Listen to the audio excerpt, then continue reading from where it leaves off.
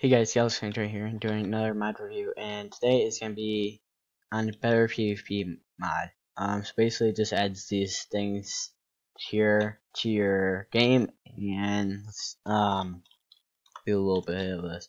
So basically if I jump off of something it'll uh, show I'll show sh surely I should ugh my armor should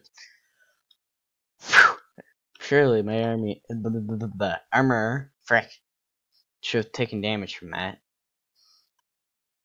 But that's why it's called the better PvP mod.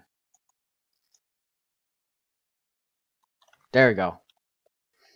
So now it's at um this one is at 63 and it it went down by one because I got shot.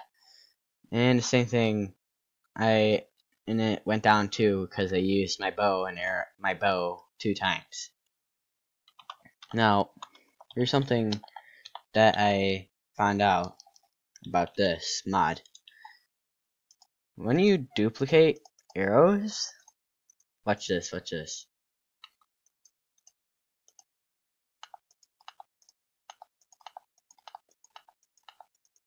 It goes up and up and up obviously.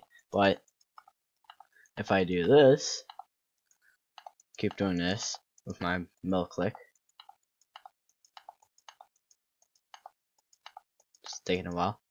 Um, I have 248, but just in these slots. If I had uh, these two, these four slots, I will try in a minute.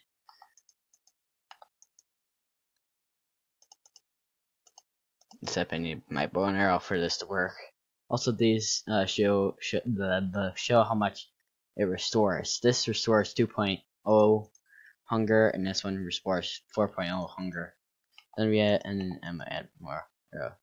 Now I have 2,240 arrows, except for the uh bow slot.